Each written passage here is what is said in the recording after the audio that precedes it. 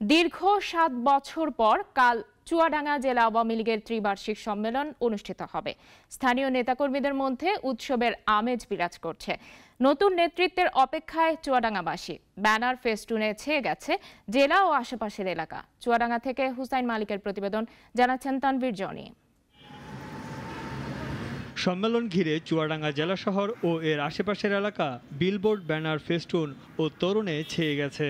শহরের town football মাঠে প্যান্ডেল সহ চলছে নৌকার আদলে বিশালাকার মঞ্চ তৈরির কাজ।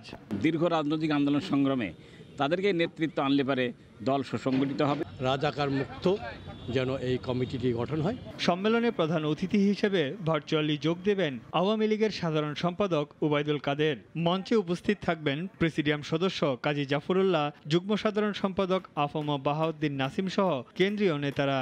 আজকে প্রধানমন্ত্রী যেভাবে দেশ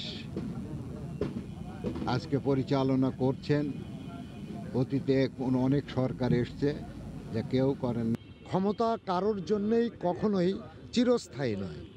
এটা দলে হোক আর রাষ্ট্রীয় ক্ষেত্রে হোক। কিসে আসবে কিসে যাবে যানবাহন এবং দুপুরের খাবার সে ব্যবস্থাও করা হয়েছে। সবশেষ দু হাজার পনেরো সালের দুই ডিসেম্বর চুয়াডাঙ্গা জেলা আওয়ামী লীগের সম্মেলন অনুষ্ঠিত হয়েছিল। তানভীর জনি নাগরিক।